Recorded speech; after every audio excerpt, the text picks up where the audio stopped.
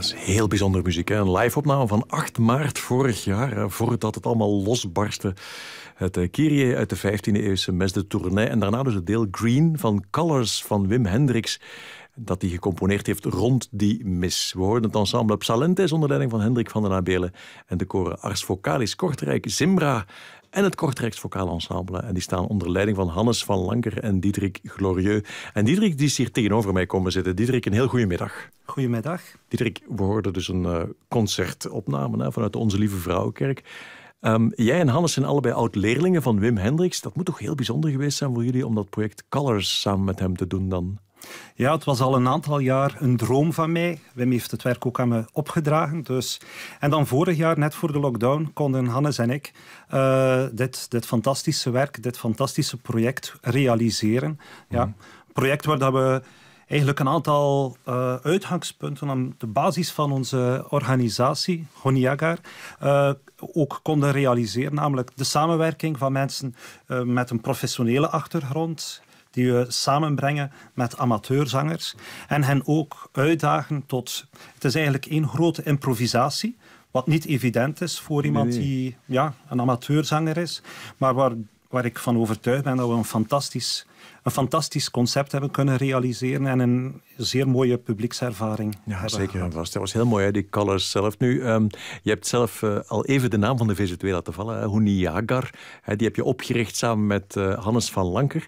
Um, en jullie hebben eigenlijk een eerste liedbundel klaar, die nu zondag aan het publiek wordt voorgesteld. Um, wat betekent Huniagar? Misschien dat je dat eens eerst moet vertellen. Het is eigenlijk een oud-Persisch woord wat ministreel betekent. Dat is in één woord uitgelegd. Maar eigenlijk op die manier proberen we ook uh, onze, breed, onze blik heel breed te houden op alle soorten muziek, ook de muziek die we niet kennen. Ja. En een ministeriel is een persoon die tot bij de mensen gaat om zijn, om zijn liederen te zingen, te brengen. En ja. dat is wat wij willen doen. Dat willen jullie ook doen ook zelf. Nu, Huniagar houdt zich volgens jullie website bezig met muziektypografie en muziekgravure. Uh, wat moeten we daar eigenlijk precies onder verstaan? Muziektypografie, ja, de naam typografie, dat zijn lettertypes en dergelijke. Zijn jullie nieuwe dingen aan het ontwikkelen op dat gebied voor partituren en zo? Wat doen jullie daar? Wat wij eigenlijk trachten te doen, is een muziekuitgave op die manier te realiseren dat ze in de eerste plaats voor de uitvoerder um, ja, beter werkt. Bijvoorbeeld, ik geef een heel concreet voorbeeldje. Wij trachten de notenbalken, de lijntjes, de vijf lijntjes, zo subtiel mogelijk weer te geven, waardoor men ziet die noten, ja, maar waardoor we plaats creëren om op de belangrijke elementen, bijvoorbeeld dynamische aanduidingen, de tekst, uh, ja, om onze aandacht daarop te gaan vestigen. Oké. Ik, ik dacht dat die dingen allemaal vastlagen, want ik moet zeggen, ik heb zelf al veel partituren gelezen en sommige lezen inderdaad gemakkelijker dan anderen. Dat zou dus te maken kunnen hebben bijvoorbeeld met iets als de dikte van de lijntjes van een notenbalk dan. Bijvoorbeeld heeft met heel veel te maken. Het heeft te maken met de kleur van het papier.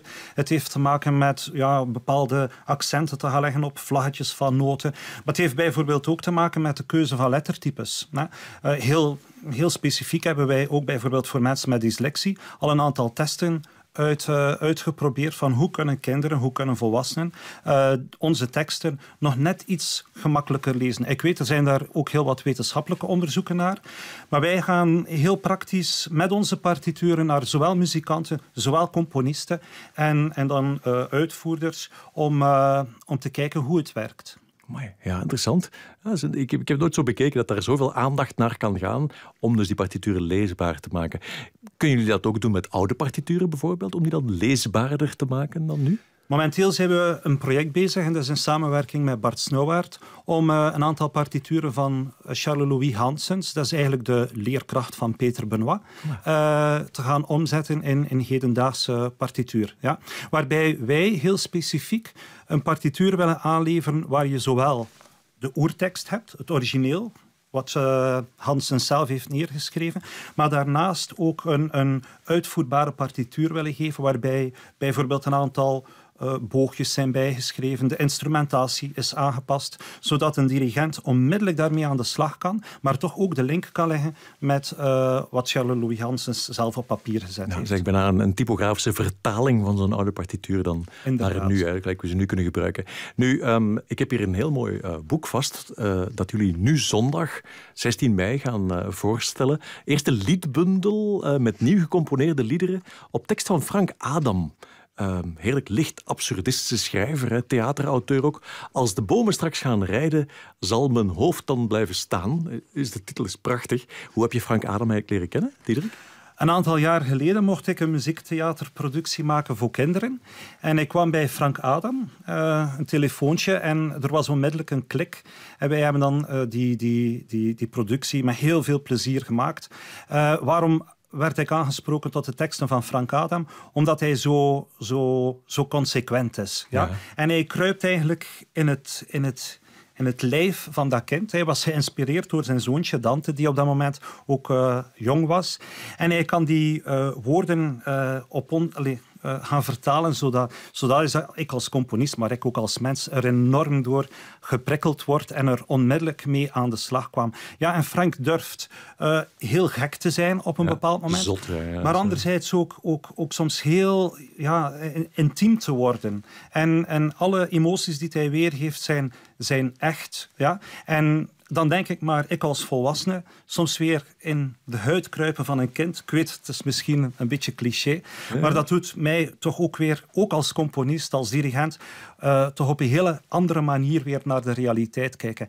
En een zin, uh, de zin uh, die de titel is van onze ja, publicatie, als ik die zin lees, dan ben ik daar een dag, twee dagen, een week gelukkig ja, van. Daar kan ik op leven. Ja, dat is absoluut zo. Dat, dat heb ik bij veel werk van Frank Adam ook. Nu, het zijn dus zes gedichten voor kinderen en voor ons ook. Hè. Laat ons wel wezen, Diederik. Die op muziek zijn door, zet zijn door zes componisten.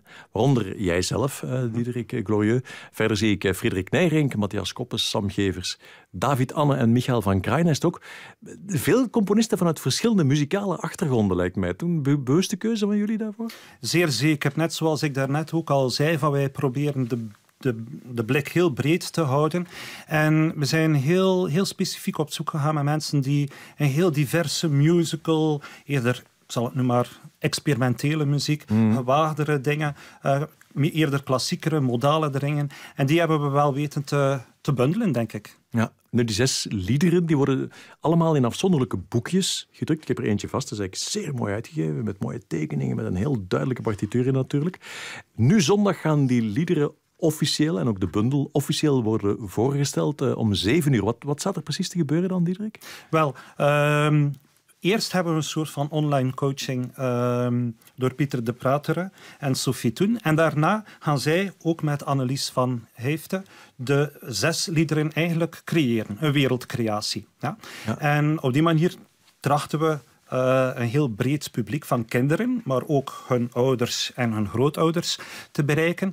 En nadien hebben we nog korte interviews met de componisten, maar hebben we ook een inkijk uh, in bijvoorbeeld hoe Glenn Dont de illustraties maakt. Ja, je zal eigenlijk kunnen zien hoe hij vanuit een paar ideeën heel concreet tot de illustratie komt opgenomen of een van de illustraties opgenomen in onze bundels. Ja, want het is heel belangrijk natuurlijk dat jullie en die nieuwe muziek die je hebt uh, laten maken op tekst van, uh, van Frank Adem en natuurlijk ook de manier waarop die bundels zijn uitgegeven is voor jullie allicht als Uniagar ook essentieel. Hè. Dat gaat ook tonen hoe het precies tot stand komt dan. Ja, absoluut. En bijvoorbeeld, uh, om nog een laatste naam te vermelden, hebben we ook Nick Lambrecht die van het lied eigenlijk van, hij is geen muzikant, amateurmuzikant, goede amateurmuzikant, maar die eigenlijk vanuit zijn verbeelding als typograaf ook een partituur heeft opgesteld die je kan lezen als niet-muzikant. Je hoeft geen ja. noten te kunnen lezen, maar waarbij de muziek toch vanzelf spreekt vanuit de typografie. Ja, een beetje, een beetje boempaukenslag. Het doet mij enorm denken. Als ik het hier in het boek zie, zie ik het echt. Lijkt het enorm Paul van Ostaaien. Ja, een beetje wel, zeker wel. Ja, goede voorbeelden mag je altijd volgen. Zeker en vast. En zeker als ze 100 jaar oud zijn, want dat is bezette stad van Paul van Astoria ook dit jaar. Goed, uh, dus uh, de creatie van de liederen is dus voor nu zondagavond. Uh, een livestreaming de hele dag met coachings, zangcoachings, maar dus om 7 uur het officiële moment van die wereldcreatie van de zes liederen. Kan via de website van Huniagar bekeken worden. En we gaan ook een link natuurlijk zetten op onze Music Matters pagina op clara.be. En na de voorstelling dan kunnen we intekenen, denk ik. Als je zo'n boekje, als je zo een reeks van zes boekjes, want dat is het, zou willen kopen, dan moeten we intekenen en dan krijgen we die later dit jaar. Ja, inderdaad. Dus wij hopen dat jullie massaal intekenen op deze publicatie. Uh, zodat wij later ook nog een tweede en een derde kunnen verzorgen. Uh, en dat kan allemaal via onze website. Oké, goed. Ik heb dus links gezet op een Music Matters uh, pagina op clara.be. Dirk Glorieux, ik heb hier nog muziek van jouw hand klaarstaan. Partita nummer 1 voor viool, alt, viool, cello en piano met enkele leden van Arco Baleno. Heel veel succes nu zondag met de presentatie van jullie eerste bundel met Hunniaker. Dank je.